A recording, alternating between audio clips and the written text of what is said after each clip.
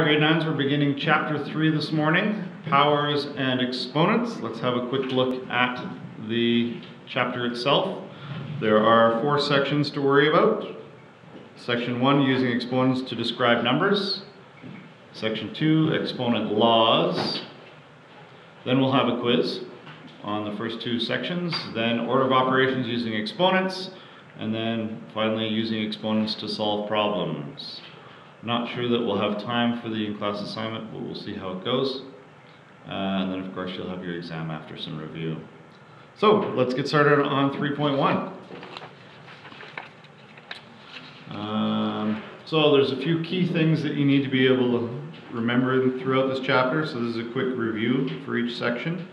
So in 3.1, using exponents to describe numbers, you're going to need to make sure that you know the different parts of a power. This is sort of definition type stuff. You'll need to know what a base is, what an exponent is.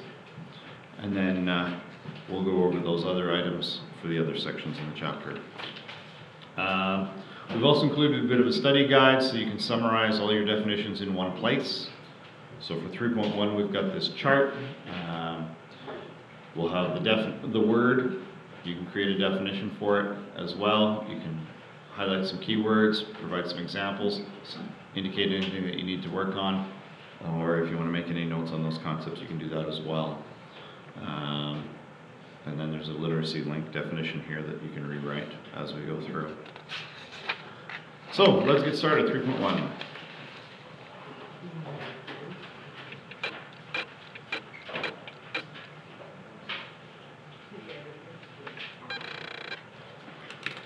Okay, so we are starting with some definitions. And we're starting with the word power. A power is an expression made up of a base and, an exponent. Well, we don't know what those are yet, so let's have a look. A base is the number you multiply by itself in a power. So we've got a little diagram here showing you the different pieces. The entire thing is the power. The base, in this case, is the 4. And so the exponent then is the 2, and an exponent is the number of times you multiply the base in a power.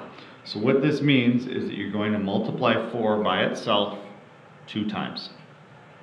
That's what this means. Uh, now, there's something also called exponential form. what that is, is the shorter way of writing repeated multiplication using a base and an exponent. So for example, 5 times 5 times 5, you can rewrite that as 5 to the power of 3.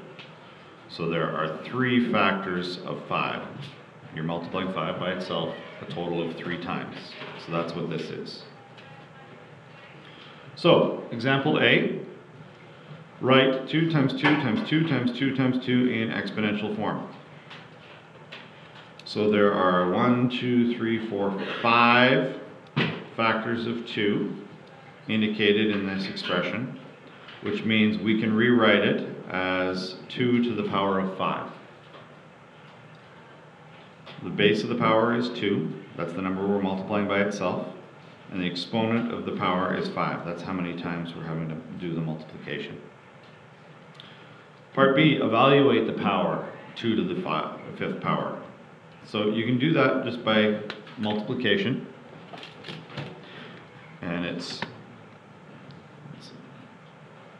2 times 2 times 2 times 2 times 2. And your answer in this case is 32.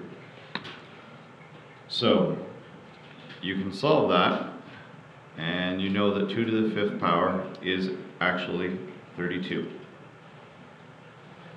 So it's fairly straightforward once you understand what the different parts mean.